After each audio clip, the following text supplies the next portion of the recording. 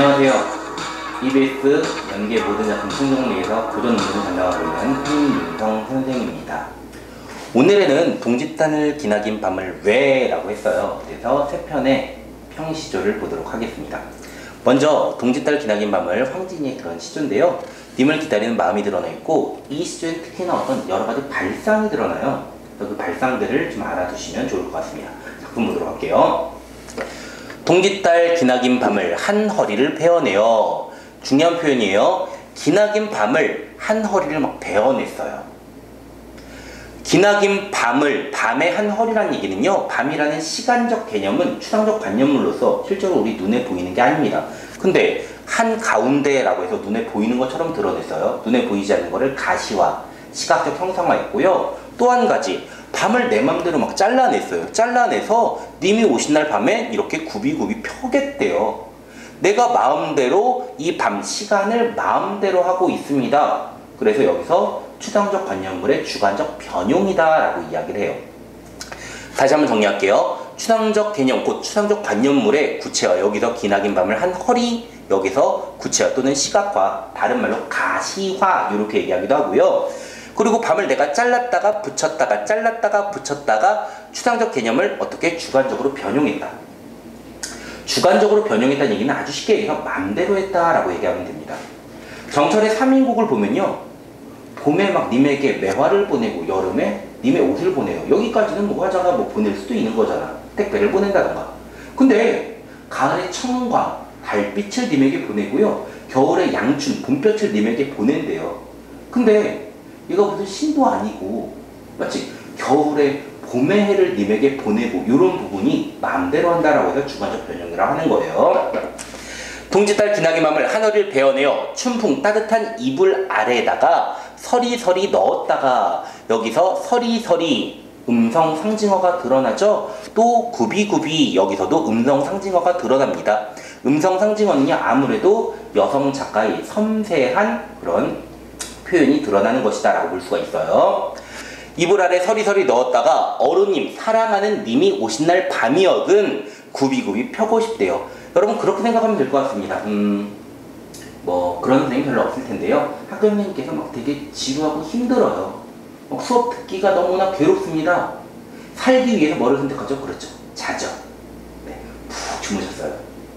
정말 정말 피곤이 풀릴 정도로 잤는데 깨 보니까 시간은 10분밖에 안 지났네. 앞으로 40분 시간이 남았네. 어떡하지?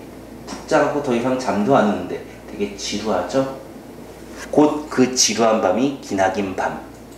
곧 혼자 독서 공부하는 밤입니다. 근데요, 만약에 선생님께서 되게 재밌어요. 막 깔깔거리 막 웃고요. 막 그래요. 아니면 막 선생님이 굉장히 미인이거나 아니면 굉장히 잘생겼어요. 보기만 해도 흐뭇하고요. 나도 모르게 빠져들고 있어요. 그러면 선생님 바라보고 있는데도 선생님 수업만 듣고 있는데 어느 틈인가 시간이 훅 가버렸죠. 맞지? 여기서의 밤과 여기서의 밤은 서로 다른 밤입니다. 왜? 독서 공부가 외로운 밤이고 굉장히 지루한 밤이고요. 사랑하는 님이 오신 날 밤이에요. 얼마나 금방 갈까요? 그래서 이 밤을 길게 느리고 싶대요. 이 밤은 짧게 잘라서 이 밤을 길게 느리고 싶다라는 그런 발상이 드러나고요. 이 밤과 이 밤 서로 예, 대비가 드러나고 있습니다. 어, 포인트 볼게요. 시간에 대한 인식과 수용이다. 과거에 님이 떠나갔네요. 현재 얘는 뭐하고 있어요? 혼자, 혼자, 혼자 기다리고 있어요. 미래, 님이 오는 그런 미래를 기다리고 있는 그런 내용이네요. 두 번째, 원천석의 흥망이 유수하니라는 시조예요. 갈게요. 흥망이 유수하니, 흥망이 유수, 유수는 운수가 정해져 있으니 운명론적 세계관이네. 만월 때도 추초로다. 고려 왕조의 궁터에 추초 가을 풀만 가득하구나. 화려했던 궁궐에 이제 가을 풀만 있어요. 뭐가 돼요? 그렇지.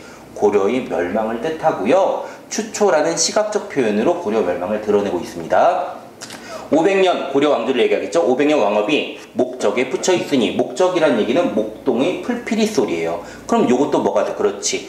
조금 전엔 추초는 시각적 표현이고요. 목동의 풀피리는 그렇지 청각적 표현입니다. 석양에 지나는 객이 눈물겨하노라 라고 하는데요. 우선 석양은 중의적으로 쓰여요.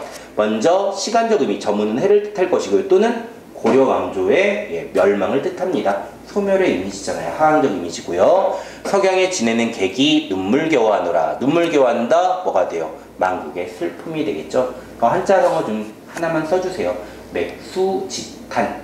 예, 나라가 망한 슬픔을 얘기하고 있어요.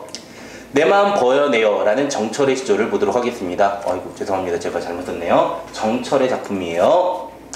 내 마음을 내 마음을 버여내어 내 마음을 잘라내서 저 달을 만들고 싶대요. 어, 나의 마음은 님에 대한 사랑을 달로 형상화를 시키고 있네요. 맞지? 나의 마음은 실제로 볼 수가 없는 건데 추상적 개념을 뭐하고 있어요? 구체화시키고 또는 시각화, 시각적 형상화시키고 있습니다. 구만리 장천에 번듯이 걸려 있어서 고운님 계신 곳에 비춰가보고 싶다. 나의 마음을 달로 만들어서 님에게 달려가고 싶다라는 님에 대한 간절한 그리움을 그리고 있는 그런 작품입니다. 자, 여기서 구말리는 뭐를 뜻해요? 그렇죠. 정서적 거리. 실제로 구말리가 아니라 그만큼 님과 내가 멀리 떨어져 있다는 정서적 거리감을 드러내고 있는 그런 작품이네요. 추상적 대상이 가시화라는 게 아무래도 포인트. 제가 아까 동지달 기나긴 반문에도 나왔었고요. 그리고 다에서도 나왔습니다. 맞지? 시간의 하늘을 베어내 서리서리 넣어뒀다. 마음을 베어 별을 만든다. 이거 별 못하죠? 네, 달이죠? 저 달을 만들고 있으니까 추상적인 대상을 가시화했다는 공통점이 있네요. 문제 확인하도록 하겠습니다. 보기를 활용해 가에서부터 달을 이해한 내용으로 가장 적절한 걸 얘기했어요. 과거, 현재, 미래라는 시간을, 시간을 중심으로 작품을 파악하래요. 1번 볼게요. 가에 이불 아래는 행복했던 과거의 공간입니까? 아니죠. 우리 살짝 봤는데. 과거는 님이 떠나간 거잖아. 행복했던 과거. 아니, 님이 떠는데 와, 행복해, 자유야. 아니잖아요.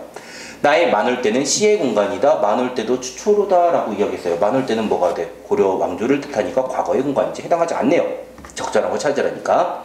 가에 넣었다가 펼이라야. 그리고 나의 유도는 A에서 B의 시간에 반복되는 그렇게 반복되는 행위도 아니죠. 자 그리고요. 과거에서 현재로 가는 것도 아니고요. 가에 봄은 화자에게 서글픔을 주고요. 지금 뭐가 나왔어? 가에서 봄은요 이불 아래 넣어놓는 따뜻한 이불을 뜻하는 말이니까 그렇게 서글픔을 준다라고 보기는 좀 어려워요. 님에 대한 기다림이니까 가을 주는 우울함을 안겨주는 현재의 시간이다라고 했는데요. 예, 화자에게 서글픔이라 보기는 어렵습니다. 4번 갈게요. 어른님 오신 날 밤에는 기뻤던 A의 시간이 아니지? 님이 오시는 건 미래의 시간이 되겠지? 아니네요. 석양은 슬픔을 유발하는 현재의 시간 가능하고요. 5번 갈게요. 동짓달의 밤은 짧게 느껴지는 그렇지. 현재의 시간 맞아요. 그리고 어른이 오시는 밤은 미래의 시간이고요. 나의 500년은 짧게만 느껴지는 그렇지. 과거에서부터 과거의 고려 왕조가 잘 나갔을 때 그리고 현재 멸망한 시간이니까 답은 5번이 되겠네요. 다음 문제 볼까요? 가와 다의 공통점으로 적절한 걸 보기 위해서 모두 고르시오라고 했어요. 그렇지. 추상적 공, 속성을 지닌 대상을 가시화 또는 시각적 형상화 또는 구체화, 시각화 다 맞는 얘기죠? 기억은 있네요. 근데 문제가 뭐 기억 다 있네요. 기억은 볼 필요가 없네요. 불가능한 상황을 가정해 화제의 심정을 강조하고 있다라고 했는데요. 불가능한 상황을 가정했다는 건 가능하겠지만 화제의 심정을 강조하기 위해서 불가능한 상황을 가정했다라고 보기는 좀 어렵습니다. 상대가 다가오거나 님이 다가오거나 화자가 그렇지 달이 되어 님에게 비치겠다 했으니까 시상의 중심 축으로 삼고 있다. 지금 맞네요. 리을. 의지를 드러내는 종결 어미를 사용해서 맨 마지막 펼이라 뭐뭐 하리라 의지 드러나죠? 가리라 의지 드러나죠? 소망을 직접적으로 드러내고 있다. 맞는 얘기네요. 그래서 답은 예 4번이 됩니다. 어, 세 가지 평시조를 우리가 살펴봤어요. 평시조라고 해서 여러분들이 출제가 되지 않을 것이다 라는 생각은 좀 접어두시고요. 예.